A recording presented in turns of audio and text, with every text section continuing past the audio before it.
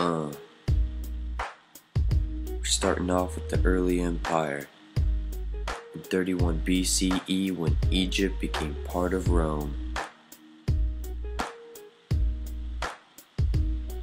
Now we start with the Augustus of Prima Porta. He had a cuirass or a chest plate with propaganda, and the Ara Pacis or the altar of Augustan peace with the inaugural ceremony, and the children looking weak with the promotion of birth rate and marital fidelity.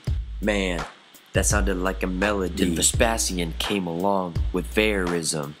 Oh wait, that's just a heightened sense of realism. Now the Romans aren't very creative on their own, like the form of Augustus, it's a copy from the Greeks.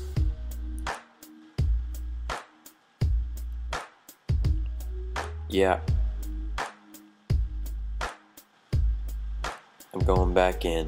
Now the Arch of Titus has a menorah which depicts the conquest of Jerusalem. Now there's also Titus among the gods.